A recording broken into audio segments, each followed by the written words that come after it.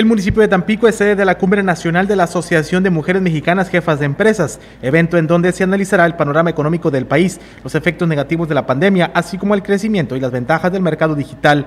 El alcalde Jesús Nader fue el encargado de dar la bienvenida a las asistentes. Somos sedes de grandes eventos, somos imán de turismo, de convenciones y de congresos, porque Tampico tiene de todo, tiene historia, tiene tradición, tiene cultura, tiene servicios de primera, su gran gastronomía sin igual y paisajes que les van a enamorar. La presidenta nacional del AMGE, Sonia Garza González, destacó que lamentablemente durante este año de pandemia se han perdido fuentes laborales con el cierre de diferentes empresas. En el caso de México, en el 2020, 3 millones de mujeres se vieron obligadas a salir del mercado laboral y 1.3 millones perdieron los ingresos recaudados por sus negocios.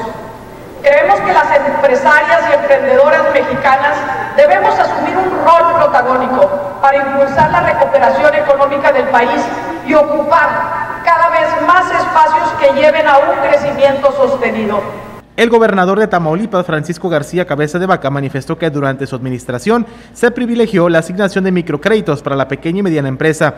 Destacó además el dinamismo y el empuje que le dan las mujeres al sostenimiento de una economía no solo de Tamaulipas, sino a nivel país. Pese a todas las adversidades de distintos recortes presupuestales que desafortunadamente eso siguen año con año por parte de la Federación, hoy, con mucho orgullo, les puedo decir que lo que va de mi gobierno se han dispersado cerca de 1.600 millones de pesos a través del financiamiento a micro, pequeñas y medianas empresas de inversión Tamaulipas.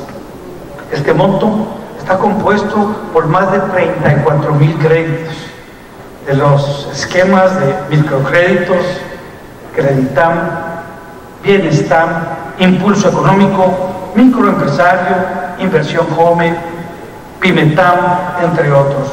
Por último, las autoridades cortaron el listón inaugural de este encuentro nacional. En el 10.1 encontraste la noticia.